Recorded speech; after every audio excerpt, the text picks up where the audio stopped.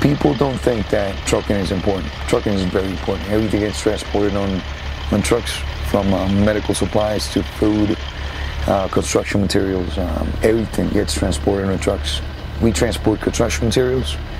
We've uh, transported even Humvees, um, military equipment also. We do, um, now in winter, we've been doing a lot of uh, rock salt for the snow and all that.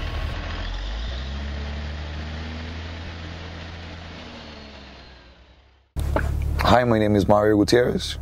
I'm originally from Costa Rica. I've been living in the United States since uh, 2000. Um, it's been a, di- a, difficult road for me living here, uh, away from from my roots, I can say.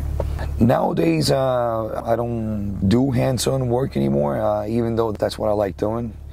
Uh, I did it when I was younger, uh, but now it's more like I'm in the phone every day, dealing with clients, dealing with brokers, dealing with um, what it takes to run the business.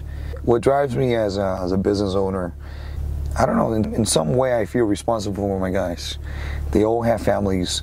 I need to feel I'm doing the best at my job so that I can continue growing as a company and my guys will grow with me. If I can provide good service, good quality service, I can also charge for a good quality service.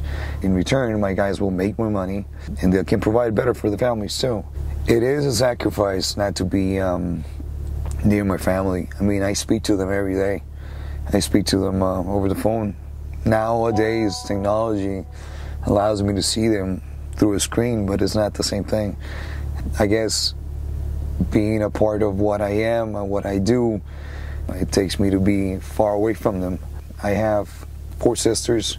I have my Asian parents, and I have a niece and a nephew. They mean the world to me, and knowing that I can provide for them or be that backbone uh, whenever they need me, that's a big thing for me. That's a big thing for me.